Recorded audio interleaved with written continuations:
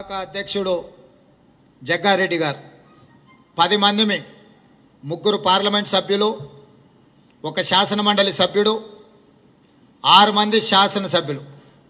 మా పది మందికి అమిత్ షా గారిని తెలంగాణ పర్యటన సందర్భంగా అపాయింట్మెంట్ ఇస్తే వారి అపాయింట్మెంట్ తీసుకొని ఈ ఏడున్నర సంవత్సరాలలో కల్వకుంట్ల చంద్రశేఖరరావు గారు టీఆర్ఎస్ ప్రభుత్వం పాల్పడ్డ అక్రమాలకు అవినీతికి సంబంధించిన ఆధారాలతో కూడుకున్న ఫిర్యాదులు చేయడానికి ఇందులో ప్రధానంగా విద్యుత్ ప్రాజెక్టుల నిర్మాణం విద్యుత్తు ప్రైవేట్ సంస్థలలో కొనుగోలు చేయడం సాగునీటి ప్రాజెక్టుల నిర్మాణం మైనింగు లీజుల కేటాయింపులు భూముల అమ్మకాలు ఇవే కాకుండా తెలంగాణ రాష్ట్రం ఏర్పడ్డ తర్వాత తెలంగాణ రాష్ట్రము వ్యసన పరులకు ఒక స్వర్గధామంగా తయారైంది.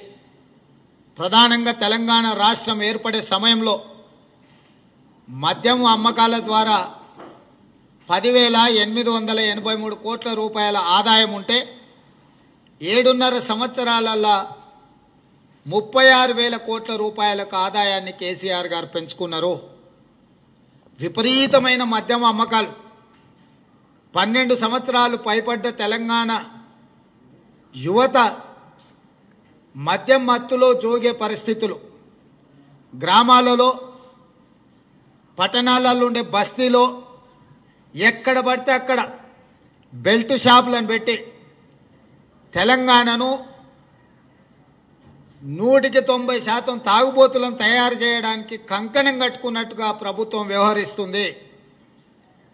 మద్యం అమ్మకాలను ఆదాయంగా చూస్తున్నట్టున్నాడు కేసీఆర్ గారు. గంజాయి డ్రగ్స్ అమ్మకాలను కేటీఆర్ గారు స్వర్గంలో విహరించడానికి ఒక ఆనందం అవధులు దాటడానికి ఒక అవకాశంగా కేటీఆర్ గారు భావిస్తున్నారని చెప్పి తెలంగాణ సమాజం అనుకుంటున్నది. మీరు చూసిండ్రు. తెలంగాణ రాష్ట్రం ఏర్పడ్డ తర్వాత జరిగిన ఎన్నో దారుణాలకు మద్యం మత్తులోనే ఈ అకృత్యాలకు పాల్పడ్డారని చెప్పి సంఘటనలు అన్నీ కూడా నిరూపించినాయి.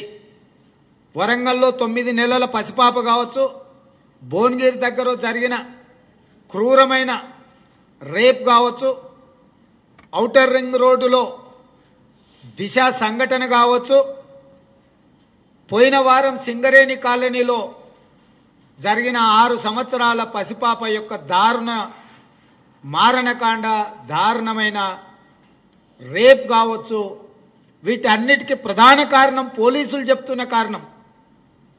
ప్రతిపక్షంగా మేము ఆరోపణ చేస్తున్నది కాదు. ఈ రాష్ట్రంలో జరిగిన నూటికి నూరు శాతం మహిళల మీద జరిగిన పాశవిక దాడుల వెనక ఆ సందర్భంగా నిందితులు మద్యం సేవించో గంజాయి మత్తులోనో డ్రగ్స్ తీసుకొని ఉన్నారని చెప్పి పోలీసుల విచారణలో తేలిందని చెప్పి పోలీసు నివేదికలు చెప్తున్నాయి.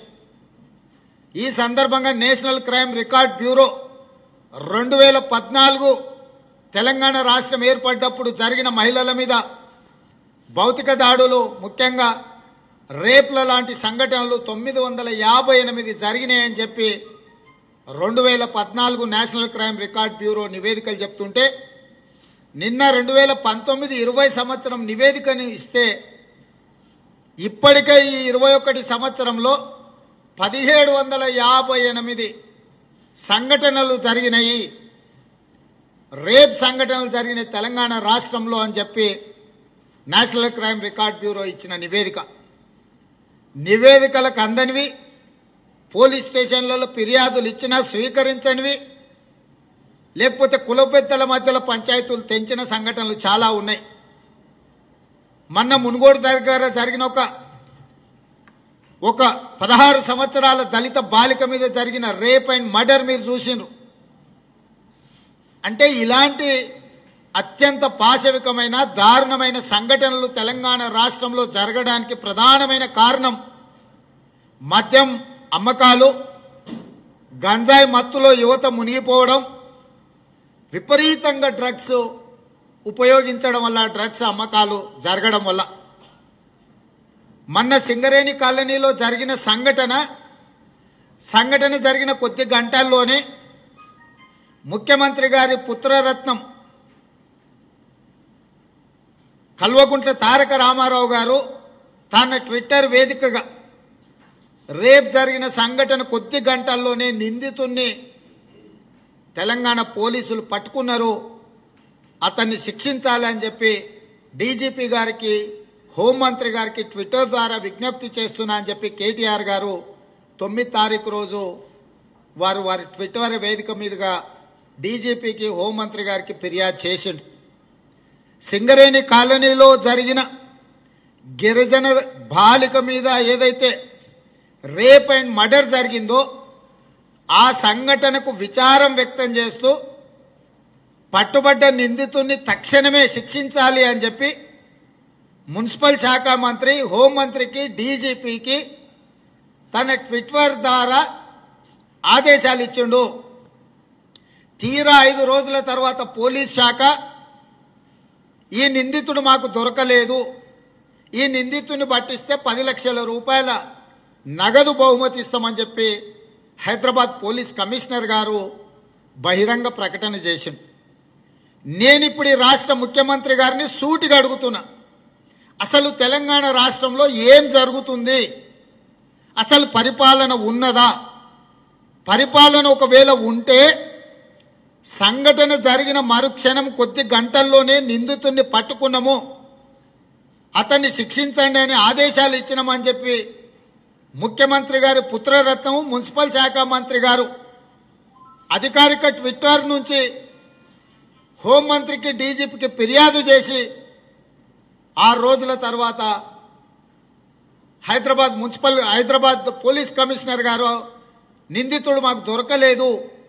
నిందితుడి ఆనమాలు ఆచూకీ చెప్తే పది లక్షల రూపాయల నగదు బహుమతి ఇస్తాము అని అంటుంటే ముఖ్యమంత్రి గారికి కనిపించడం లేదా? ముఖ్యమంత్రి గారు చూస్తలేరా? నేను అడుగుతున్న కేటీఆర్ గారిని మీరు ఈ ఫిర్యాదు చేసినప్పుడు మంచిగానే ఉన్నారా? మత్తులో ఉండి చేసిందా అని అడుగుతున్నా. మీరు నిజంగానే హోస్ట్లో ఉంటే మీకు ఏ అధికారి సమాచారం ఇచ్చిండు? ముద్దాయిని అరెస్టు చేసినామని.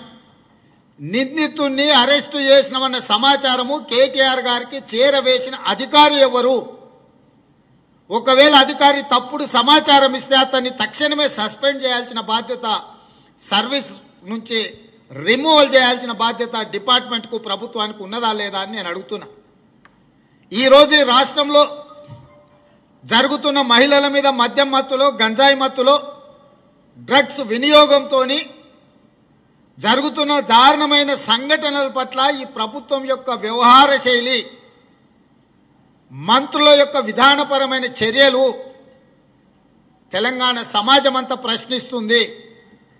మీకు బాధ్యత లేదా ఈ తెలంగాణ రాష్ట్రంలో ఆరు సంవత్సరాల ఒక పసి బాలికను అత్యంత దారుణంగా పాశవికంగా చెరిచి చంపేస్తే